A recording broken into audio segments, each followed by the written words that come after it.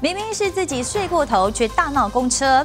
台北有一名男子搭台北客运，原本是要在头前国中站下车的，但是因为睡过头，当他醒来时发现过站，就要求司机要让他下车。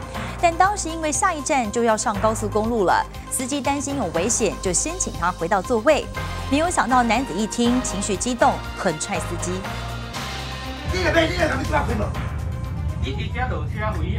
公车行进中，男子站在司机旁，大声要求司机马上让他下车。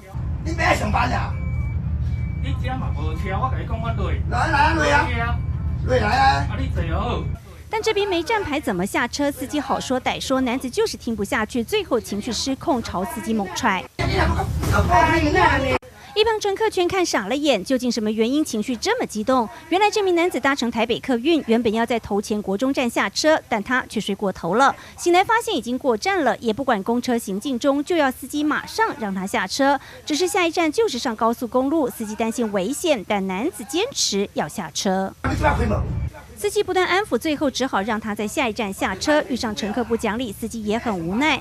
四十六岁的林姓司机在台北客运任职两年多，好心相劝却遭殴打，造成右手擦挫伤。当时公车上还有七八位乘客，影片抛上网，网友也替司机抱不平，拍你当。还有人说，难怪公车司机流动量这么大，没人想做公车司机。而受伤的司机公司也将协助他对男子提高伤害。记者综合报道。